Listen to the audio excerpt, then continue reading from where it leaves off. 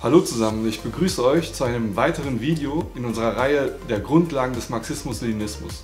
Heute befassen wir uns mit dem historischen Materialismus. Falls ihr noch nicht unsere Videos zur marxistischen Philosophie, dem dialektischen Materialismus gesehen habt, dann empfehle ich euch, die vorher anzuschauen, weil dieses Video baut darauf auf. Für die Erstellung dieser, dieser Videoreihe orientieren wir uns an dem Buch Grundlagen des Marxismus-Leninismus. Das Buch verlinken wir euch in der Videobeschreibung. Und damit steigen wir ein in das heutige Thema, den historischen Materialismus.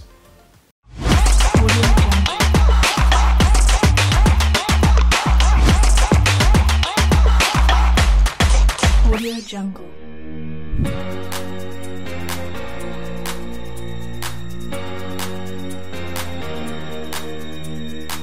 In den beiden Videos zur Philosophie haben wir gesehen, dass alle Erscheinungen miteinander in einem wechselseitigen Zusammenhang stehen. Das heißt, sie beeinflussen sich, bedingen sich und so weiter. Wir haben auch gesehen, dass das alles nicht einfach zufällig abläuft, sondern gewissen Gesetzmäßigkeiten folgt, die wir erforschen und erkennen können. Diese Gesetzmäßigkeiten finden wir nicht nur in der Physik, wenn wir uns zum Beispiel die Schwerkraft anschauen, sondern in allen weiteren Bereichen, auch in den menschlichen Gesellschaften. Wenn man jetzt die Philosophie des dialektischen Materialismus konsequent weiterdenkt, dann wendet man sie auf die Gesellschaften an und deckt damit ihre Entwicklungsgesetze auf. Genau das tut der dialektische Materialismus und deswegen ist er so wichtig für alle Revolutionäre. Mit seiner Hilfe können wir die Entwicklung von Gesellschaften verstehen, ihre Gesetzmäßigkeiten offenlegen und sie dann im Sinne der Arbeiterinnenklasse in der Praxis anwenden. Diese Wissenschaft von der Geschichte der Gesellschaft geht also wie jede Wissenschaft vor. Sie schaut sich nämlich die Wirklichkeit an und versucht sie zu verstehen. Damit geht einher, dass es falsche und richtige Aussagen über die Gesellschaft gibt. Diese Haltung sorgt dafür, dass die verschiedenen bürgerlichen Gesellschaftstheorien mit dem historischen Materialismus in Konflikt geraten, wie etwa der bürgerliche Pluralismus, doch dazu später mehr. Vorerst wollen wir die Grundgedanken des historischen Materialismus verstehen.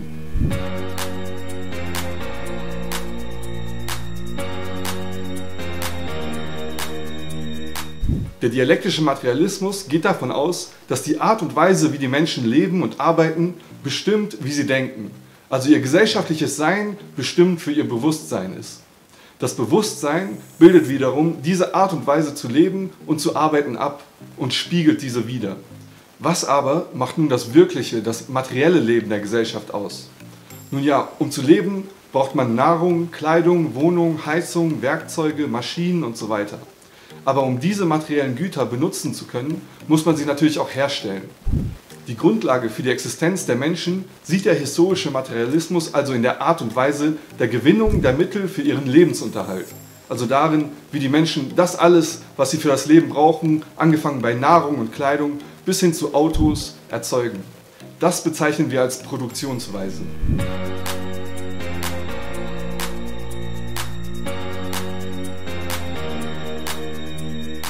Produktionsweise kann man weiter unterteilen. Und zwar auf der einen Seite in die Produktionsverhältnisse, also die Verhältnisse, die die Menschen eingehen müssen, um miteinander zu produzieren und zu leben.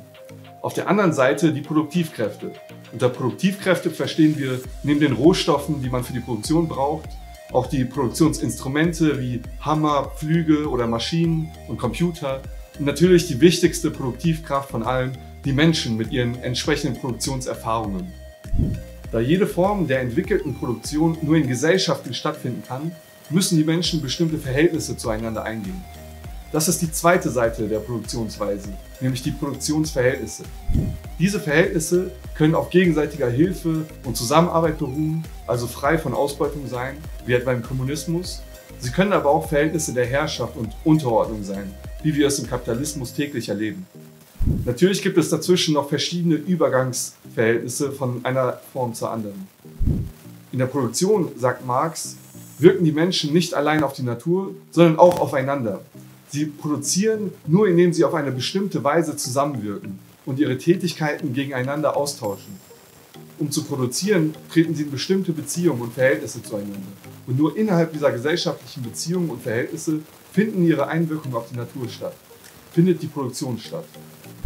Die Produktionsverhältnisse umfassen drei wesentliche Elemente. Zum einen die Eigentumsverhältnisse, das heißt, in wessen Händen liegen die zentralen Produktionsmittel, also die Produktionsinstrumente, Rohstoffe, der Grund und Boden und so weiter. Zum anderen die Stellung der sozialen Gruppen und Klassen innerhalb des Produktionsprozesses.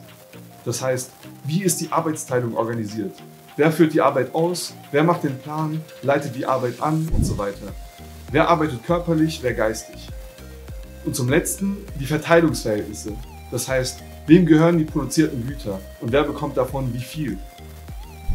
Zusammengenommen ergeben die Produktivkräfte und die Produktionsverhältnisse, also die Produktionsweise der Gesellschaft. Über den Lauf der Jahrtausende haben sich in der Geschichte der Menschheit fünf Grundtypen herausgebildet. Die Urgesellschaft, die Sklaverei, der Feudalismus, der Kapitalismus und der Sozialismus bzw. Kommunismus. Bevor wir auf die einzelnen Produktionsweisen konkret eingehen, wollen wir uns noch anschauen, wie sich die Gesellschaften gesetzmäßig von einer Formation in eine andere entwickeln.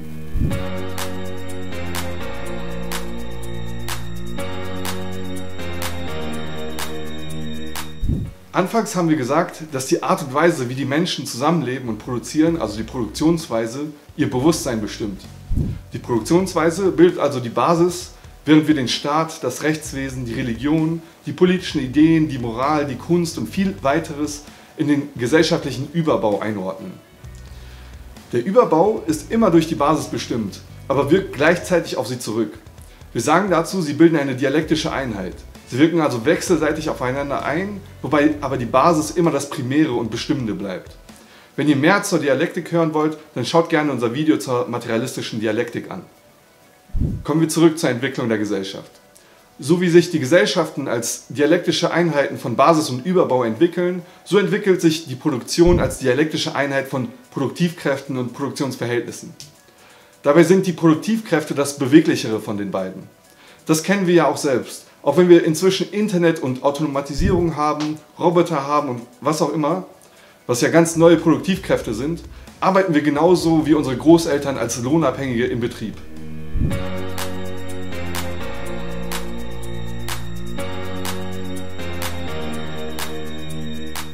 Alle Gesellschaften kommen an einem Punkt an, wo die Produktivkräfte sich schon so weit entwickelt haben, dass die Produktionsverhältnisse nicht mehr mit ihnen übereinstimmen und für die Entwicklung der Gesellschaft dermaßen zu einem Hindernis geworden sind und die Widersprüche sich so weit zugespitzt haben, dass es eine Revolution braucht, die neue Produktionsverhältnisse schafft. Dabei entwickelt sich der Keim der neuen Gesellschaft jeweils in der alten, absterbenden Ordnung. So war das zum Beispiel im Feudalismus, als es in den Städten schon das Bürgertum gab, das die Industrie und damit auch den Kapitalismus hervorbrachte und erheblich von der feudalen Ordnung eingeschränkt wurde. Letztendlich musste das Bürgertum, die Unternehmer und so weiter eine neue Ordnung schaffen, die dem Stand der Produktivkräfte entsprach. Der Übergang von alten Produktionsverhältnissen zu neuen vollzieht sich jedoch nicht ohne Konflikte und Erschütterungen. Im Gegenteil, ein solcher Übergang vollzieht sich gewöhnlich auf dem Wege eines qualitativen Sprunges, des revolutionären Sturzes der alten Produktionsverhältnisse und der alten herrschenden Klasse und der Herstellung und Verankerung neuer.